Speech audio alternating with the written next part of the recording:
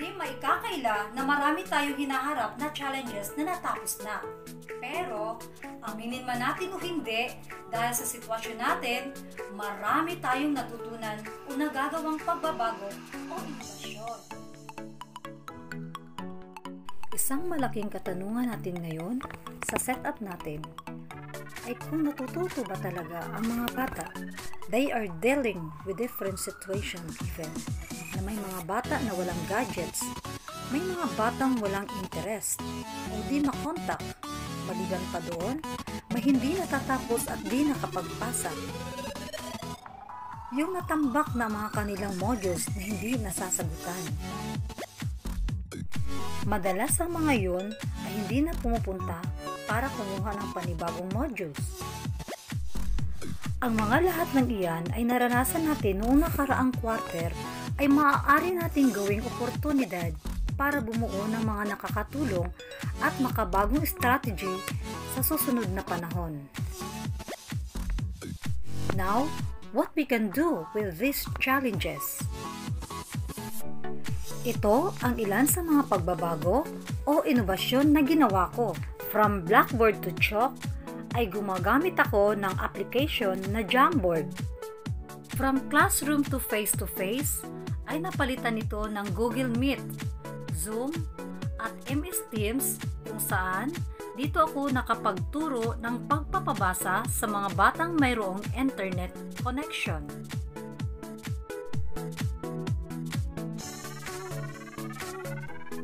Isa ito sa halimbawa na aking naisagawa sa pagpapabasa online.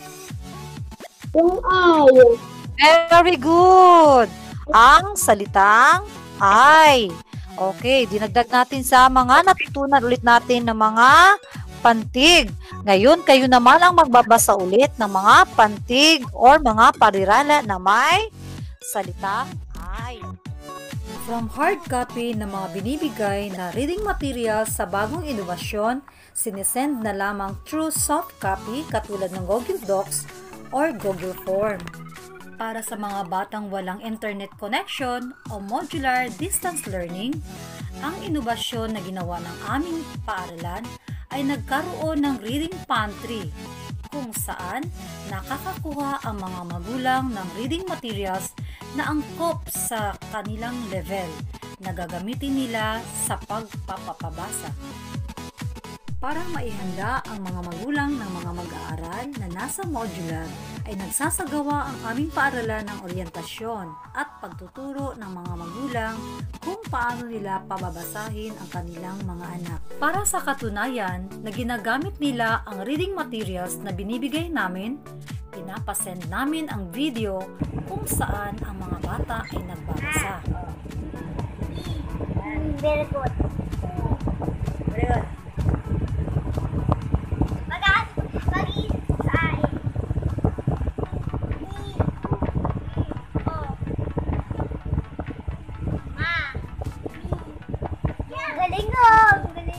Ilan lamang ito sa mga pagbabago o inobasyon na aking isinagawa.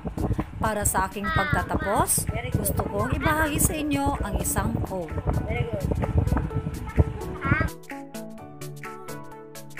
You can't go back and change the beginning, but you can start where you are and change the ending. Ako, si Ginang Emelia A. Bombita. Maraming salamat sa inyong.